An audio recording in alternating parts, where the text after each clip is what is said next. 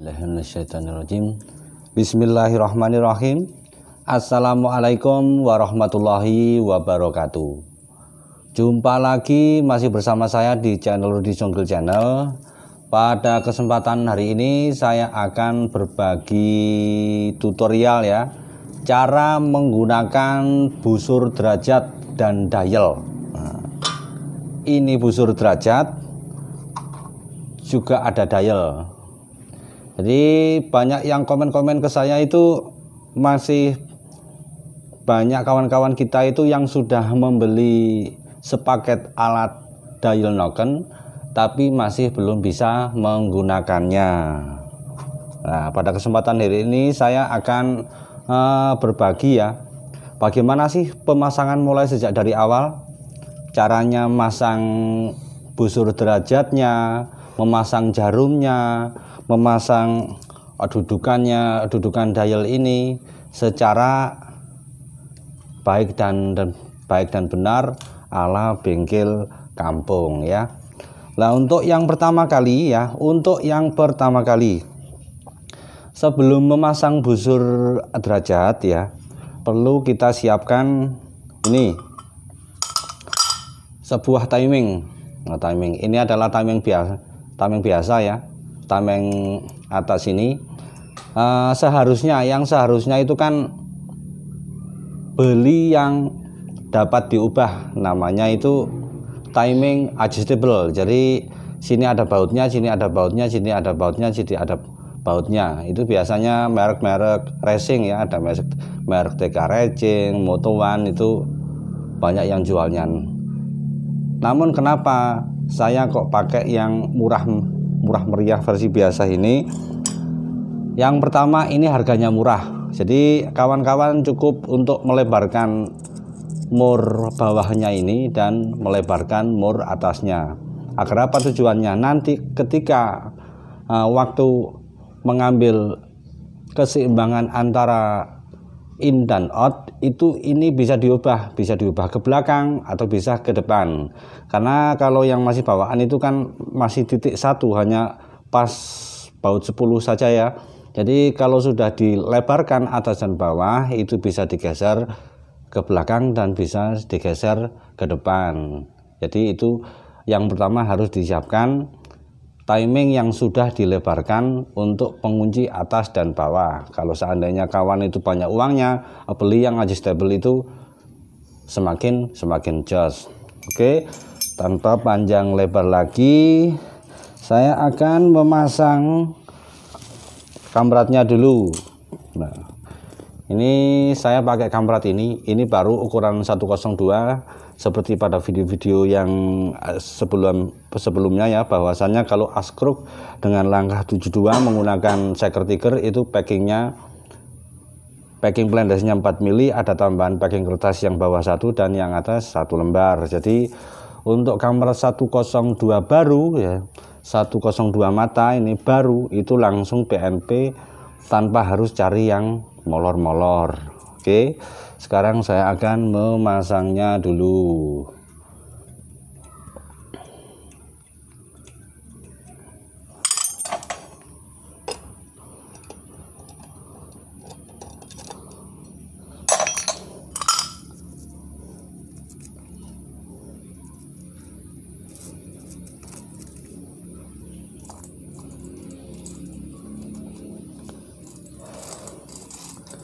Yuk dipasang pelan-pelan. Dipasang ya.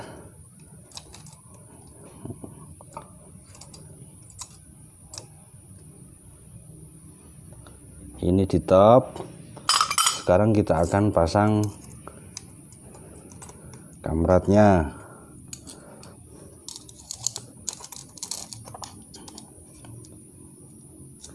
Timing sudah terpasang, kita akan pasang bautnya baut atas dan bawah.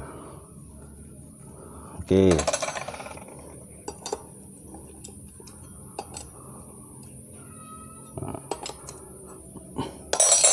Nah. Ini tujuannya memakai timing yang sudah dilebarkan. Nanti ketika ini timing ini kurang ke depan kita geser ke depan.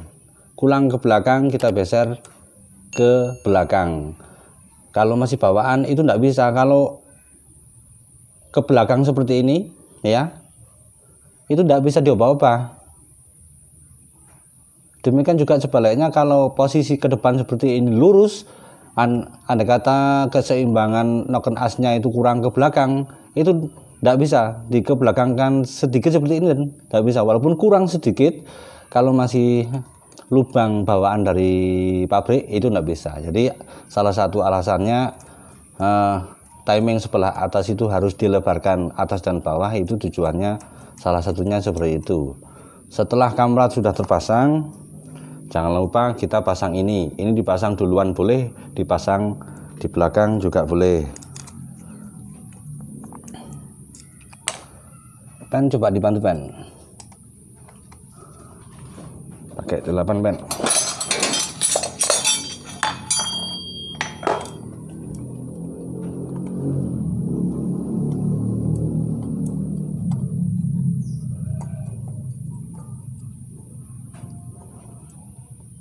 pelan-pelan pen pelan-pelan jangan kegabah ya. Tenang ojo khawatir ya. Ojo khawatir mesti olah rondo ayu wis ta tak jamin. Pokoknya belajar sing rajin ya. Awakmu sing digoleki perawan apa rondo ben hmm, perawan saya kira statusnya tok. Oh banyak perawan yang hanya statusnya saja perawan rasa janda ya. Daripada hmm, di PHP okay. mending aja sambil guyon ya rek ya. Sambil guyon. Oke. Okay. oke. Okay. sambil guyon Oke pas untuk kamrat 102 pas ya. Ini lihat. Untuk kamrat 102 pas. Pas. Pas.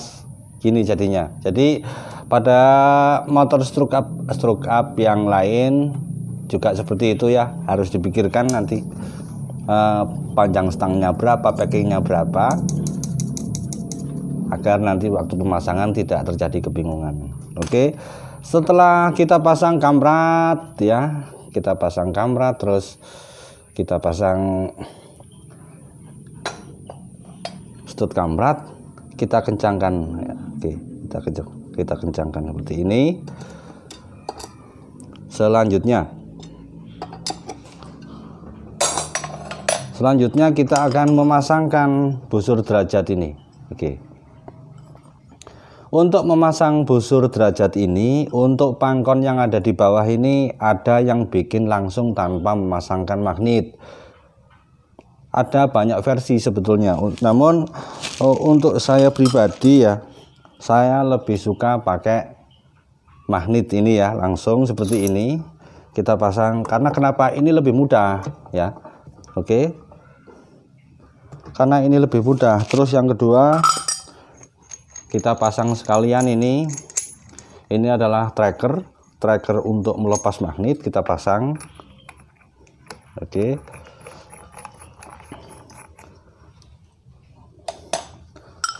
Terus kita akan memasangkan ini ya mur. Untuk mur ini eh untuk baut ini jangan ditanyakan jangan ditanyakan panjangnya berapa mili panjangnya berapa senti. Ya usahakan ketika nanti ini busur derajat ini sudah sudah nempel di sini itu keadaan dari busur derajat ini tidak tidak kendor. Tidak kendor dan bisa diputar kiri dan kanan. Hmm. oke ini ilustrasinya seperti itu. Ya bukan ilustrasi memang. Ini memang real ya. Biasanya saya juga seperti seperti ini terus untuk yang selanjutnya untuk mencari top ya top TDC top deck center ini itu bahasanya wong Inggris wong barat ya. Kalau bahasa kita orang Jawa Timur TDC itu top ya top atau TMA titik mati atas. Kita cari ini ya cari busi ya. Busi yang dilas ujungnya ya kita tancapkan di lubang busi oke.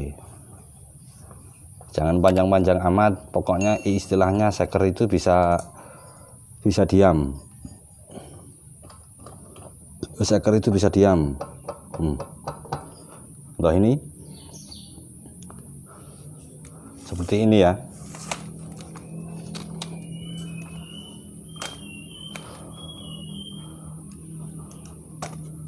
waduh kamera nih rek. Coba seperti ini ya. Businya kita tancapkan yang telah dibuat yang telah dibuat ukuran. Untuk selanjutnya kita butuhkan ini dudukan dari dudukan jarumnya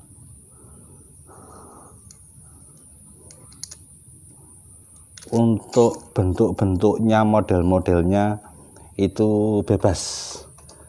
Bebas terserah kawan-kawan. Untuk menancapkan jarumnya ini bebas ditancapkan di mana pun juga bebas. Asalkan eh, kawan-kawan nanti tidak susah atau tidak repot tidak terjadi kebingungan ketika nanti seperangkat alat dial itu bisa mudah dibaca. Setelah dudukan jarum terpasang, kemudian kita pasang si jarum. Oke. Dudukan jarum kita pasang. Dudukan jarum kita pasang.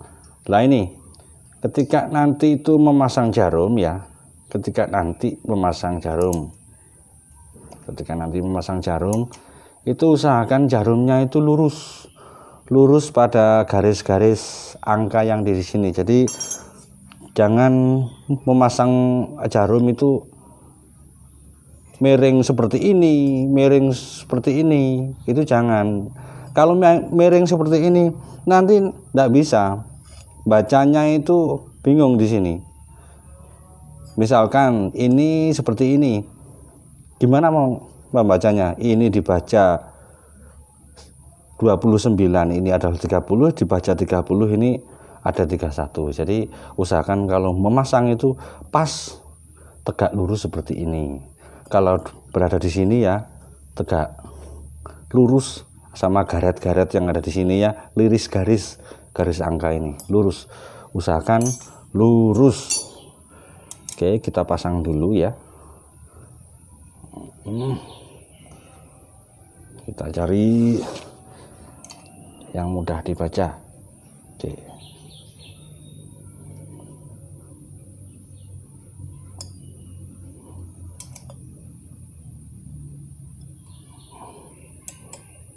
biar kita itu sama-sama memahami cara menggunakan seperangkat alat dial ya Oke.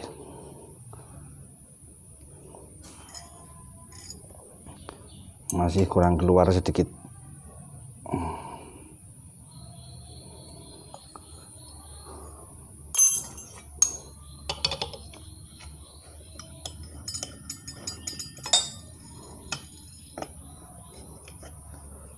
Setelah dudukan jarum dan jarumnya terpasang, sekarang kita akan mencari di mana topnya, titik top.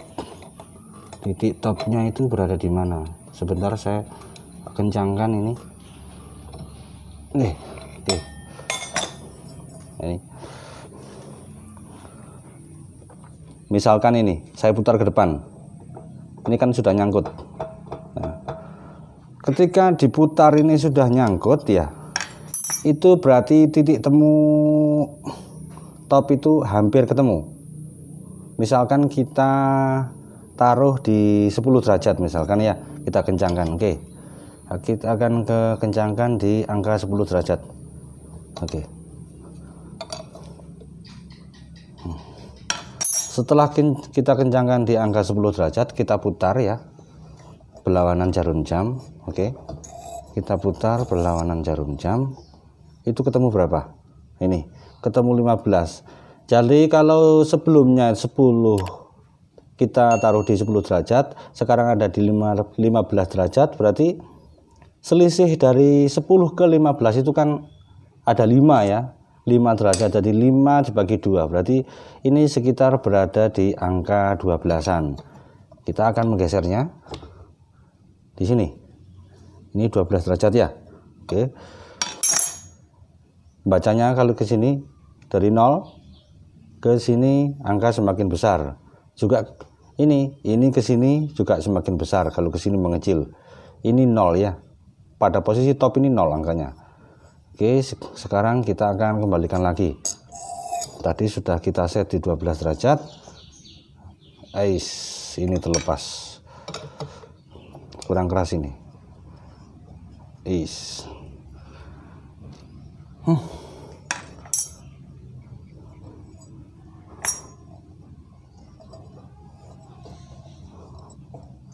berapa tadi?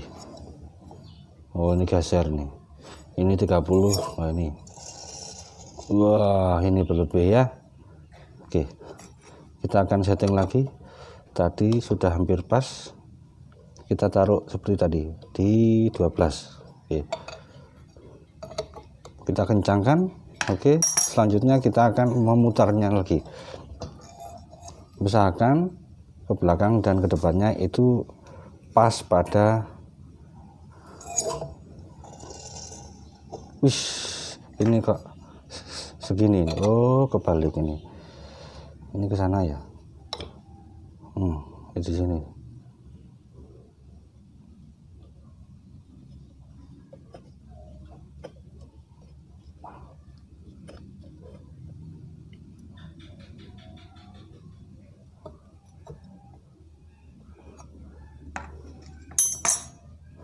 derajat.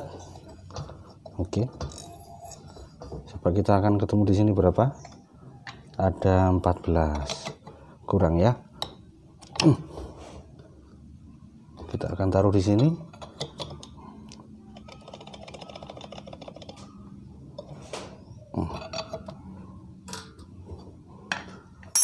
Kita kembalikan lagi. Ini bukan 12 derajat ini Ben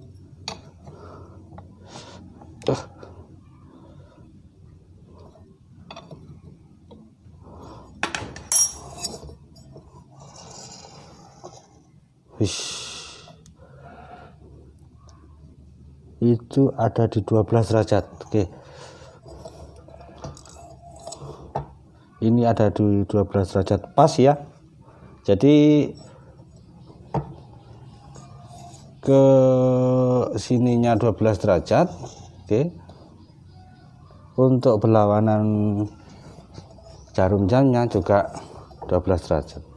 Kalau sudah ke sini 12 derajat yang sebelah sini 12 derajat Berarti ketika nanti busi yang kita pasang sebagai pengunci noken tadi kita lepas, kita lepaskan pas posisi 0 itu pasti pada posisi top.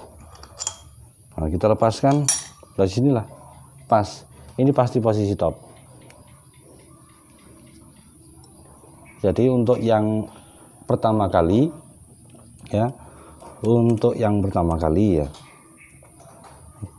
yang harus kita lihat itu topnya dulu. Ini, ini pas top 0 TDC, top deck center atau TMA. Top deck, top deck center itu bahasa kulon ya, bahasanya wong barat, wong putih. Kalau bahasa kita bahasa Indonesia itu TMA titik mati atas ya atau top. Oke. Nah, seperti ini.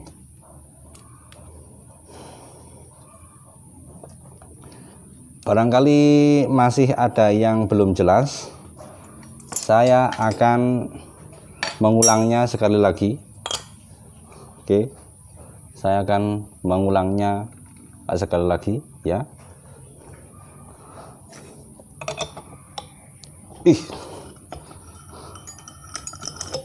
Saya akan mengulangnya sekali lagi ya. Ini saya putar. Tidak tahu di mana titik mati atasnya atau atopnya. Ini saya pasang ya. Saya pasang busi yang tadi. Ini pasang dulu. Jangan panjang-panjang amat kalau yang kalau buat busi yang dilas seperti ini. Oke selanjutnya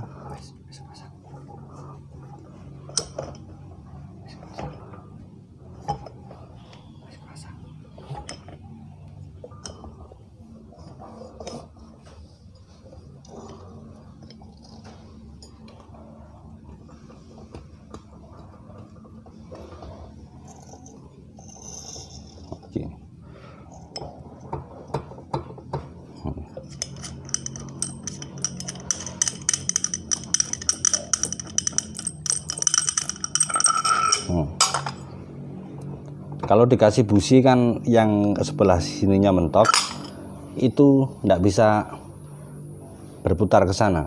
Demikian juga yang yang sebek apa yang kebalikannya kalau kita putar ke belakang itu masih belum berada di tengah-tengah sini. Ini berada di sini titik titik topnya ya. Perhatikan. Oke. Kalau saya balik juga seperti itu. Titik top berada di sini. Oke. Yuk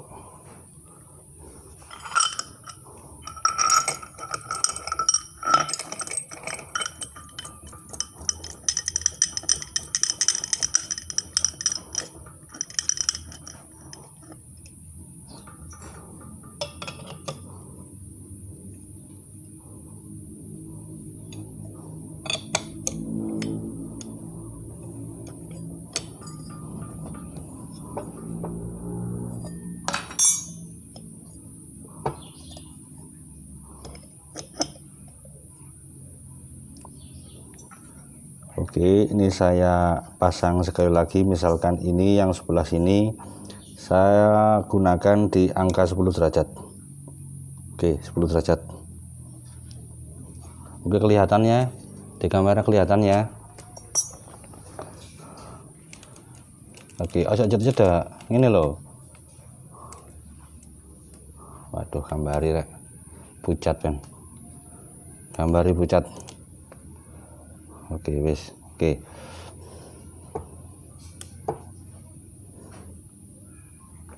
Waduh, gambar pucat lagi. Tidak jelas di kamera. Maaf ya. Ini kameranya murahan. Kalau di sini 10 derajat, maka akan saya putar ke sininya. Ini ada di angka 55. Ih saya pasang di angka 30 jadi intinya kita samakan yang ke depan dan ke kanan. Di situ saya ambil 30 di sini masih 15 jadi yang ke sini coba saya pasang di 25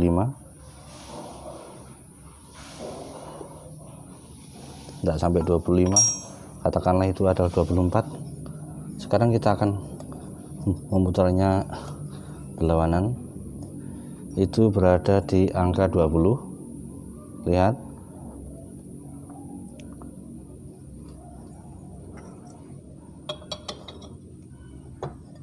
Jadi ini kurang sini. Sekitar 22 oke. Kita akan memutarnya ke sini. Kita ambil. Oh ini pas. Sebelah sini ini 21 yang sini. Oh masih kurang pas.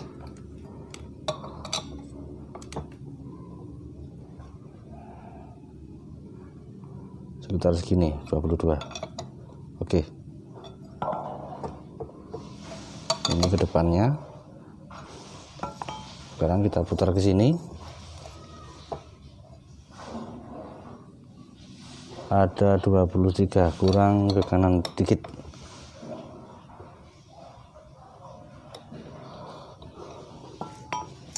Oke ke situ. Lah ini nah ini ya. Kalau kiri kanan sudah ketemu angkanya sama. Oke Kalau kiri dan kanan angkanya sudah ketemu sama,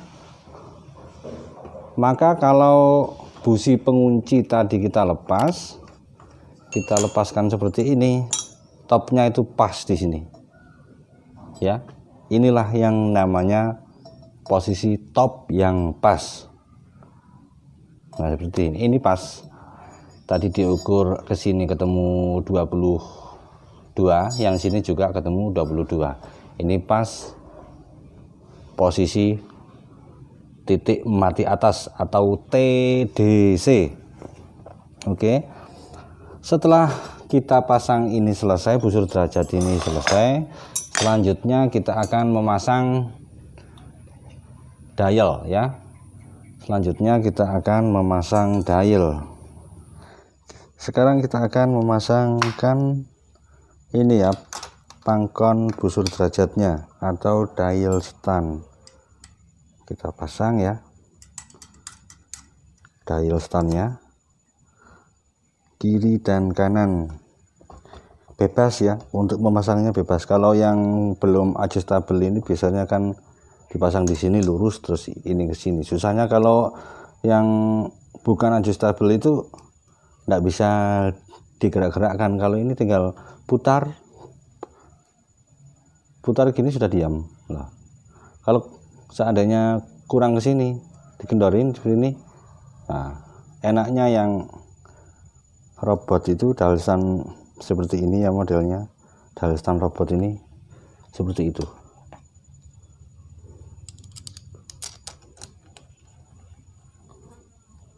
Penggunaannya lebih mudah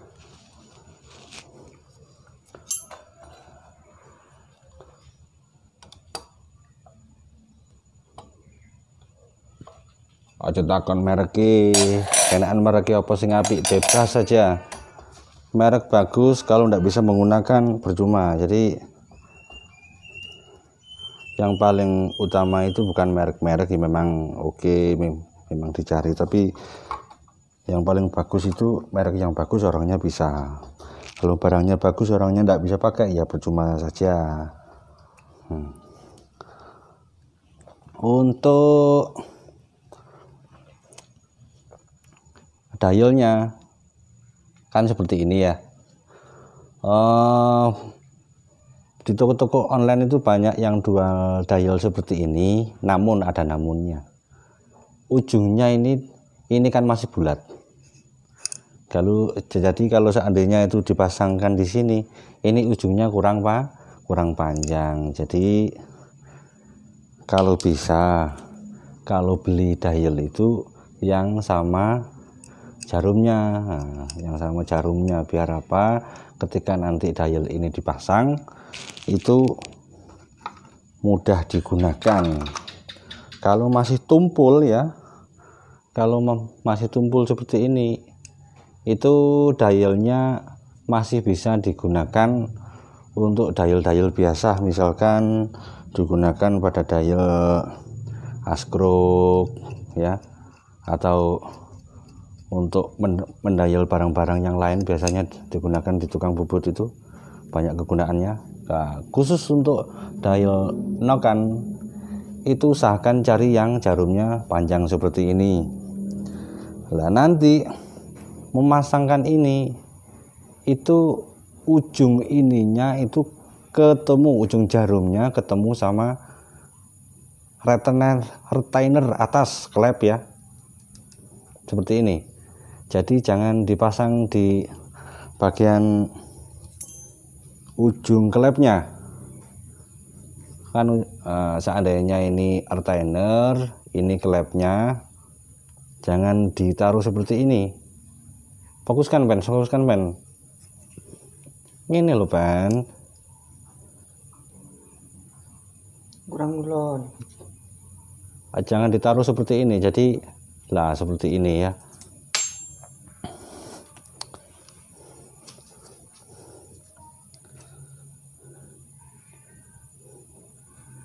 ini retainer ya. Saya ulangi lagi. Misalkan ini retainer. Dan ini klepnya jadi ujung dari jarum itu jangan dipasang seperti ini. Jadi dipasangkan di di sininya. Nah menancap tegak lurus seperti ini. Ya usahakan mulai dari klepnya sama dialnya itu posisinya lurus seperti ini ya. Lurus seperti jangan seperti ini. Dan jangan seperti ini. Usahakan posisi dari dial ini lurus seperti ini ya. Lurus. Bebas naruhnya. Di sini juga boleh di sini juga boleh di sini juga boleh. Sekali lagi untuk memasangkan ujung dari dial ini ya ujung dial itu jangan ditempatkan di ujung klep seperti ini. Jadi tempatkan di nah seperti ini. Itu bebas ke depannya boleh ke sininya boleh ke sininya boleh ya. Pokoknya bukan pada ujung klepnya seperti ini. Waduh kamera ini tidak fokus rek.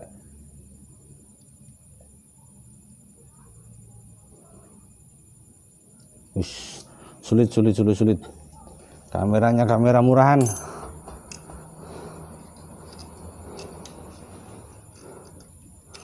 Sekarang kita pasang dialnya dulu ya. Dialnya kita kencangkan. Dua-duanya. Kita cari posisi yang enak. Kita posisi cari posisi yang enak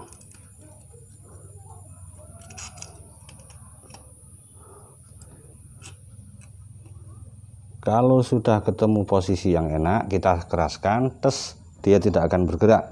Demikian juga halnya yang sebelah sini. Kita tekan ke bawah kita kasih spasi sedikit kita tekan. Oke. Ketika kita tekan sudah selesai maka jarum ini is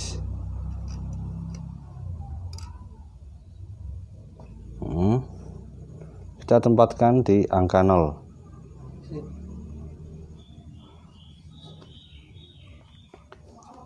demikian juga halnya yang satu. Untuk yang ini ya juga seperti itu. Kalau sudah ketemu posisi yang enak yang pas dikecangkan selesai. Lalu kita cari angka 0 nah selesai sudah. Jadi itulah cara atau tata cara untuk menempatkan atau memasang sebuah seperangkat alat dial dibayar tunai ya. Dipasang dengan mudah ya dipasang dengan mudah digunakan juga mudah itu untuk versi saya. Untuk versi yang lain sih masih banyak. Jadi uh, bebas ke kalian. Kalian mau gunakan cara yang ini boleh tidak digunakan juga boleh. Jadi beda-beda mekanik itu beda-beda cara. Asalkan walaupun beda cara tapi tujuan kita itu sama. Tujuannya itu sama. Jadi salah satu penggunaan busur derajat ini adalah apa mencari keseimbangan ya agar selaras antara in dan out oke okay? selanjutnya kita akan melakukan pendayalan nah, untuk melakukan pendayal uh, pendayalan ini nanti si mesin ini saya akan tidurkan tidak akan saya taruh di kedudukan mesin ini karena kenapa untuk kebutuhan YouTube saya akan taruh di tempat lainnya agar kawan-kawan bisa memahami dan mengerti sepenuhnya ya oke Oke kawan, karena durasinya cukup lama ya. Untuk proses pendayalannya nanti saya akan upload video yang selanjutnya saja. Karena durasinya cukup lama ya. Mungkin kalian juga bosan nonton video saya cuma video ecek-ecek seperti ini ya. Jadi untuk video ini saya sudahi di sini dulu. Jika ada kekurangan dan silap-silap kata saya mohon maaf yang sebesar-besarnya saya akhiri billahi taufik walhidayah wassalamualaikum warahmatullahi wabarakatuh